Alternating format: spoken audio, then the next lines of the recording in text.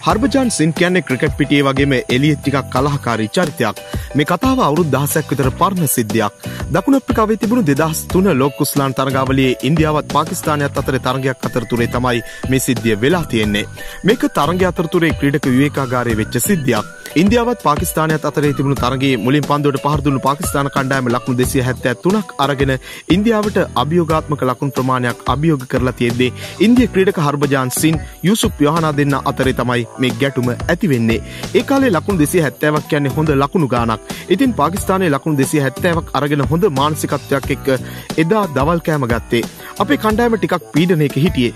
ඒ විදිහට තමයි හර්භචාන් එදා සිද්ධිය විස්තර කරන්නේ. ඇතරම් පොඩි ජෝක එකක් තමයි එදා දුරදිගගේ මම එදා තරගට සෙල්ලම් කළෙත් නැහැ. පාකිස්ාන කණ්ඩෑම එක්ක හොඳ තරග වාර්තාවක් තිබුණ නිසා කුම්බලේ අපේ කණ්ඩෑමේ දඟපන්දය වන්න විදිහට හිටියේ කෑමගන්න වෙලාවේ මම හිටපු මේසේ එහා මේසි තමයි මොහොමඩ යුසුප් සොයි අක්තාර් දෙන්න කෑම කෑවේ මා යුසුපී දෙන්න පංජාබ් භාසාාවෙන් එක එක දෙවල් කතා කර කර හිටියේ ඒ කතා කර කර ඉද්දී එයා එක පාර්ට මගේ ආග මිස්සරහට දාලා මට විහිලු කලා එතැන්දි මට තරහ ගියා මම එකට කටින් පිල්තුරු දීලා සටන ඉස්සරහට අරගෙන යන්න සූදානම් වුණේ. අපි දෙන්නගෙම අත්තලේ වෙලාවේ පුටු තිබුණා. පුටුවලින් පහර පටන් ගන්න හදද්දී එතෙන්ට ආපු ද්‍රාවිඩ් ශ්‍රීනාත් දෙන්න මම පැත්තකට තල්ලු කළා. අක්‍රම් අෆ්‍රෙඩි දෙන්න යූසුෆ්ගේ අතේ තිබුණු පුටුව උදුරගත්තා. එදා අපි දෙන්නට සෑහෙන්න දොස් කිව්වා. එදා හිටපු ප්‍රවීණයෝ ඔක්කොම වගේ.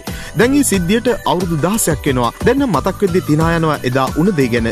ඊට පස්සේ යූසුෆ් මුණ ගැහුණු හැම වෙලාවකම අපි දෙන්න මේ සිද්ධිය මතක් කරලා hina වෙනවා. හර්බචාන් කියන්නේ පාකිස්තාන ක්‍රීඩකයෝ පිටියේදී ප්‍රතිවාදීන් වුණත් පිටියෙන් එලිය හොඳ යාලුව කියලා පාකිස්ාන ක්‍රඩකයෝ ගොඩක් මගේ හොඳ යාලුව ඒ අතරින් ඇෆ්‍රඩි අක්තාර් දෙන්න හොඳම යාලුව අපි කතා කරන්නේ එක භාෂාව අපේ කෑමරටාවත් ගොඩක් දුරට සමානයි අපි කැමති සිින්දුත් එක වගේ ඒ මුණම යාලු විදිහට ගොඩක් සමීප වෙනවා. මේවා හැබැයි එලිය විතරයි. ග්‍රවන්් එක ඇතුළට ගහම අපි අංක එකේ එදිරිවාදියෝ ඔය විදිහට තමයි හර්භචාන් අවුරුදු දහස්සකට කලින් සිද්ධ වුණු නපුරු සිද්ධියක් මතක් කරලා තිබුණේ. මෙනි වීඩියෝ දිනපතා බලන්න අපත් සමග එකතුවන්න ඔබ තවමත් අපේ චැනලක සබස්ක්‍රයිබ් කරලා නැත්තං දැම්ම පිය සබස්ක්‍රයිබ් කරන්නත් ක්‍රිකට්වලට කැමති ඔබේ යාලුකට බලන්න. මේ වීඩියෝක ෂයා කරන්නත් අමතක කරන්න එපා.